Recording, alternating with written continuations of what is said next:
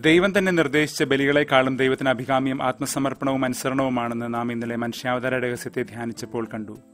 നിയമവും ബലിയും എല്ലാം വഴികാട്ടികളും കൈത്താങ്ങുകളുമാണ്. അവയുടെ ആന്തരാർത്ഥം ഉൾക്കൊള്ളാത്തവൻ അനുസരണ കാണിക്കുകയോ ദൈവഹിതം തേടുകയോ അപരനെ മാനിക്കുകയോ ഇല്ല. വിശ്വാസം പോലും അനുസരണമാണ്.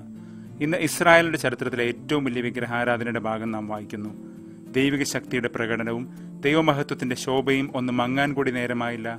അതിനു മുൻപേ ഇസ്രായേൽ എല്ലാം മറന്നു തുടങ്ങി. ജീവനുള്ള ശക്തിയുള്ള ദൈവത്തെ ഇന്ന് സങ്കീർത്തനം പറയും പോലെ പുല്ല് തിന്നുന്ന കാളയ്ക്ക് സദൃശനാക്കി. വീടുകളിൽ അടക്കി നിർത്താനാവാത്ത വളർത്തുദോഷങ്ങൾ എല്ലാ നിയമത്തെയും മറികടന്ന് വഴികളിൽ നാശത്തിന്റെ വിത്തുമായി ഇറങ്ങുന്നത് നാം കാണുന്നു. കരഞ്ഞപേക്ഷിക്കുന്ന പോലീസ് ഉദ്യോഗസ്ഥർ ഷൂട്ടഡ് സൈറ്റിനെ കുറിച്ച് പോലും ചില സംസ്ഥാനങ്ങളിൽ ആലോചിച്ചു തുടങ്ങുന്നു.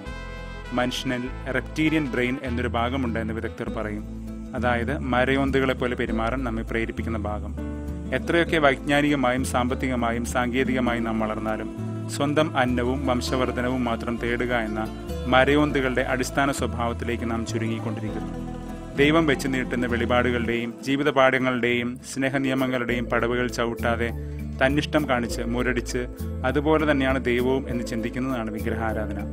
സത്യദൈവത്തിന്റെ മഹത്വമായ മനുഷ്യൻ അവന്റെ പരിപൂർണത തേടാതെ മരയോന്തുകളെയും നാൽക്കാലികളെയും പോലെ പെരുമാറുമ്പോൾ അവർ ദൈവമെന്ന് വിളിക്കുന്നതിനൊക്കെ പുല്ല് തിന്നുന്ന നാൽക്കാലികളുടെ രൂപമായിരിക്കും. സ്വന്തം കരവിരുതിൽ രമിക്കുന്ന മനുഷ്യന് എന്ത് നിയമം എന്ത് പ്രവാചകൻ?